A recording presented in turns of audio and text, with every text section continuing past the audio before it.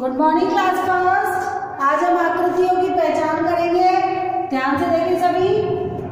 जैसे ये किसकी आकृति है बेटा? त्रिभुज की। किसकी आकृति है ये? त्रिभुज। नाम लिखो इसका। त्रिभुज। ठीक है? अब आपसे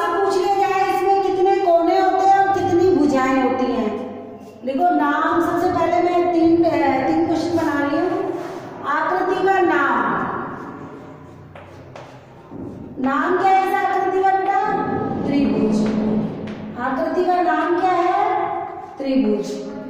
उसके बाद है भुजाओं की संख्या। भुजाओं की संख्या। की संख्या। अब इसे भुजाएँ कितनी होती है बेटा? ये एक लाइन ये दो लाइन और ये तीन लाइन कितनी भुजाएँ हो गई तीन। कितनी भुजाएँ हो गई बेटा तीन भुजाएँ अब आपसे पूछ ले जाए कोनों की संख्या कोनों की संख्या कोनों की संख्या बताओ। इसके कोने कितने हैं? एक, दो, तीन। तीन भुजाएँ और तीन कोने। कोने कितने हैं? तीन। आप चाहो तो इसे बॉक्स में भी रख सकते हो। ठीक है? ये हो गया। दूसरी आकृति देखो। दूसरी आकृति कौन सी आकृति है? वर्ग की। किसकी आकृति है वर्ग की। ऐसी आकृति जिसकी चारों भुजाएँ समान होती है। आकृति का नाम क्या है? नाम। सबसे पहले नाम लिखो, वर्ग। आकृति का नाम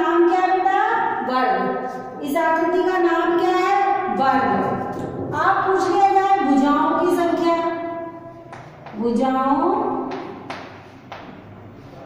की संख्या। अब इनकी भुजाओं की संख्या बताओ बेटा। देखो, एक लाइन, एक भुजा, दो भुजा, तीन भुजा और ये चार भुजा। कितनी भुजा हो गई? चार भुजा। ठीक है? उसके बाद कोनों की संख्या? कोनों कोनों की संख्या? कोने कितने बेटा?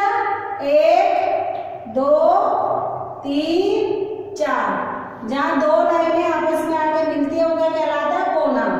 क्या कहलाता है? कोना। तो इसमें कितने कोने हैं? चार।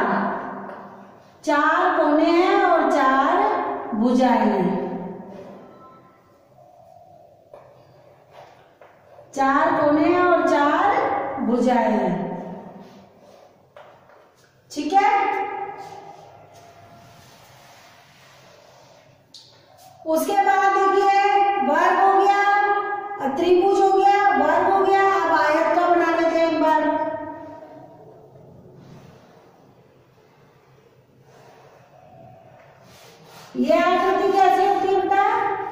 जिसकी आमने सामने की भुजाएँ बराबर होती है। जिसकी आमने सामने की भुजाएँ बराबर होती है, उसे हम क्या कहते हैं? वर्ग कहते हैं। ठीक है, ये भुजा इसके बराबर और ये भुजा इसके बराबर। तो ये कौन सी आकृति हो गई आयताकार आकृति कौन सी आयत कौन सी आकृति बोलते हैं इसे आयत जिसकी आमने सामने की भुजाएँ बराबर होती है आप देखो आकृति का नाम क्या है आयत नाम क्या है आकृति का?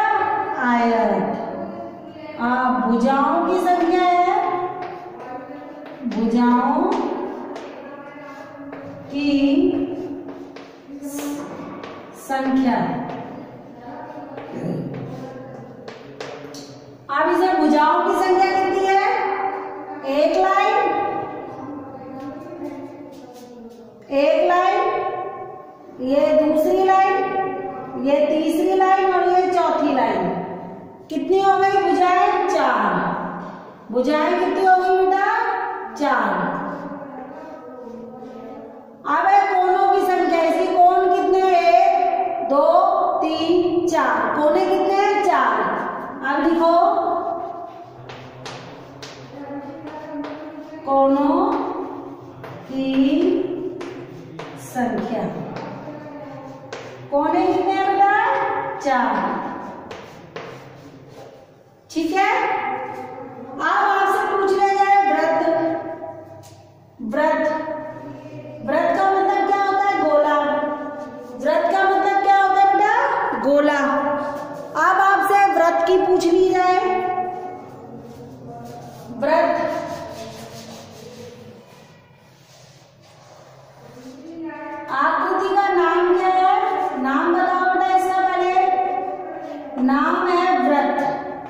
नाम क्या है इसका? व्रत। गोल आकृति को हम क्या कहते हैं? व्रत। क्या कहते हैं बेटा? व्रत। अब उसके बाद भुजाओं की संख्या कितनी है? भुजाओं की संख्या।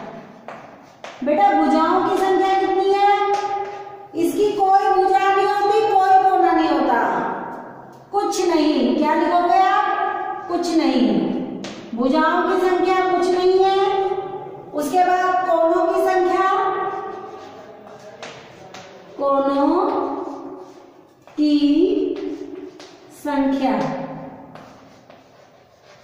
कोनों की जो संख्या वो भी कुछ नहीं है। ना तो इसकी भुजाएँ होती है, ना ही इसके कोने होते हैं। कोनों